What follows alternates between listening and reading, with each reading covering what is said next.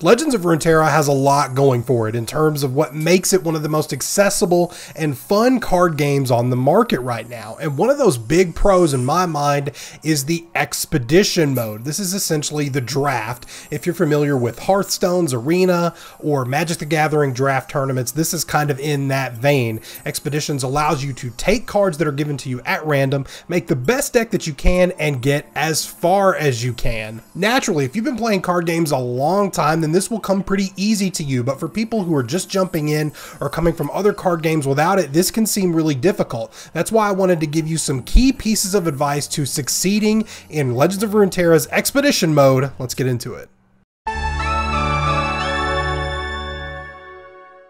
Let me explain what Runeterra's Expedition mode for people who aren't familiar. You either use an Expedition token or some other form of currency to get a pass at an expedition. This will give you two trials. A trial is simply you are given choices of cards that are pooled into cards of three, and you make the best deck that you can. Uh, you do get opportunities to add more cards to your decks the more you win. You also have chances to trade out cards, including one trade at the end of your deck creation. The goal is to go up against other players who are in the same situation and win as many times as you can. The more times you win, the better rewards that you can get. In fact, there is a certain point where if you get past seven wins in a trial, you are essentially getting back more rewards than you put in to queue up for Expedition. So you can profit a little bit from this mode, but it is not super easy to succeed in this all the time. You have to have a lot of deck building experience and just kind of know what works in any given situation.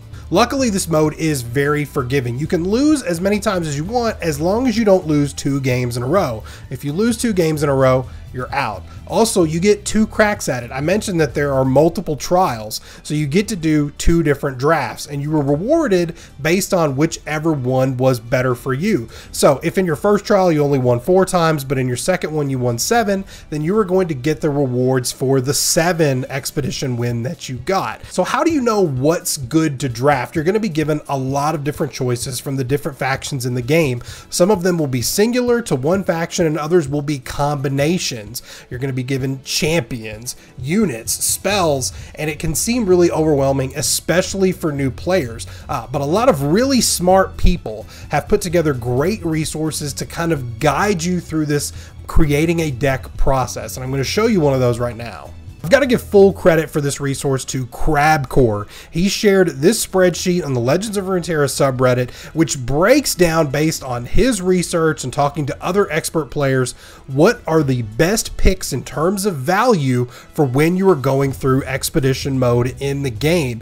It is extensive and he keeps this thing up to date. I'm not 100% sure if it is updated for the recent balance patch that we just got, uh, but that doesn't mean that this resource isn't worth using. It's fantastic fantastic. You'll notice on the left here, he's got a grading scale, which grades things from five down to zero. Zero being absolute trash, five being the game winning bombs as he dubs them. He also breaks this down into each of the individual factions to kind of showcase which are the most valuable picks to go for. You can use this resource while you're drafting, and I would highly encourage you to do it because I've done it and I've had a lot of success with it. Uh, so there's a lot of cards that that are listed here, way too many for us to talk about on an individual basis. Uh, but you can go through this for yourself. The link uh, to this is going to be in the description, as well as to KrabKore's YouTube channel, uh, where he specifically does a lot of videos talking about expedition strategy. So I would encourage you to go check this guy out.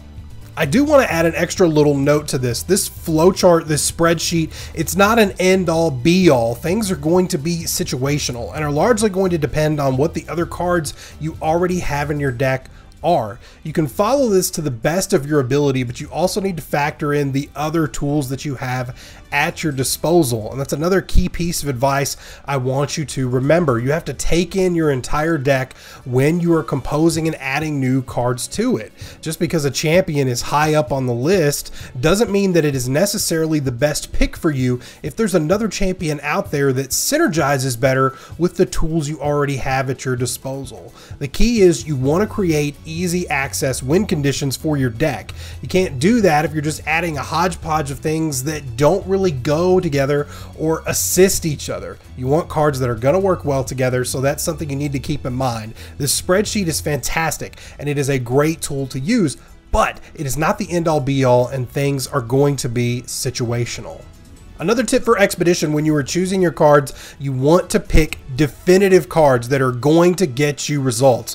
What do I mean by that? You don't want to pick cards that are going to be largely situational for them to give you the benefit. Uh, things that are forced to trigger off of other things happening, things that require other units to be on the board, situations that you may not always be able to create. If you get those cards but you don't have the other pieces that necessarily make them work, you're going to regret having them in your deck altogether. You want threats that are definitive, they are easy to understand, and they are straightforward. You want to create obstacles for your opponent. You don't want to try to be uh, like the Yu Gi Oh! anime is sometimes, where they get incredibly tricky with very specific cards that nobody would ever in their right mind run. You are not Yugi Muto. You are not Seto Kaiba, as much as you might like to think that you are. You want to construct your deck intelligently with definitive answers that are going to get you results more often than not.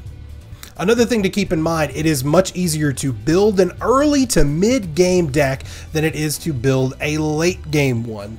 Now, how do you separate these categories specifically for Runeterra? Late game decks are going to typically be primarily balanced on control. The early games are going to be more aggro, and then the mid game are going to be those mid range decks. That's where the name comes from. You want to build a deck that is going to try to get its win earlier than later. It's just more reliable that way to do for this specific format by the numbers, you will more likely succeed in the early to mid game than you are the late game. And that's because the late game requires a lot of things to go really well for you in the early game for you to really capitalize on that. And with a deck that is going to largely be randomized based on your choices and not naturally the most efficient it can be, control becomes a less reliable option in these situations.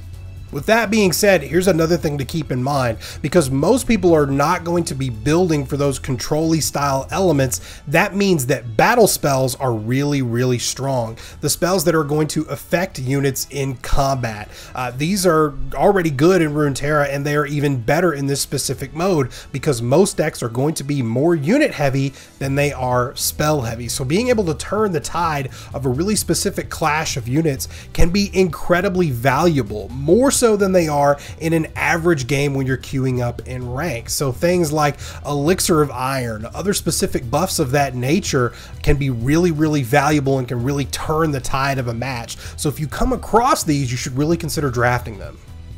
This next piece of advice I am totally stealing from somebody else. I will admit to that and give him full credit. That is Sam C. Will. He's a Twitch streamer who specializes specifically in expeditions. And his key piece of advice that he offered is don't assume that your opponent has all of the answers. This is something that I only just now started implementing into my play, and it really works. When you're playing a standard card game in ranked, your mind automatically drifts to, okay, this deck is based around this faction. I've played this before. Therefore, he's trying to set up for whatever card in any specific situation. You can sort of predict when a deny is coming, a withering wail, those turn the tide spell cards that are staples in a lot of really popular decks. Expedition is not going to be like that because the element of randomness is definitely a factor. Not all decks will be built as consistently as they can. So you kind of have to turn that switch off in your brain to sometimes throw caution to the wind and say, you know what, he's floating at least four mana. Deny is a possibility here, but he may not have it. In fact, the chances of him having it are less than if he didn't have it. So I should just go for it. This is a tough thing to do. It's a hard habit to break. Uh, but if you can do this and take a few extra risks, you can actually get a lot of reward from it.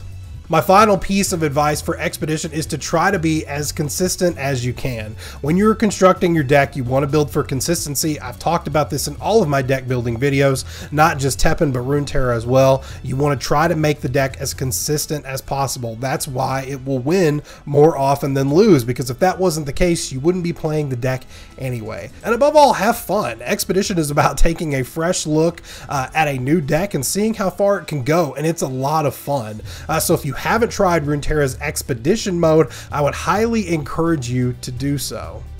Thanks very much for taking the time to watch. I hope this expedition tips video is useful to you. And if it was, you can totally hit the like button and subscribe so that you'll get more content from me. I've got more Runeterra stuff in the works, and we'll talk more about Teppen, everybody's favorite Capcom card game, when new content starts to come out. And that will be in July. So look forward to that. I love you guys. Take care of yourselves, and I'll see you next time.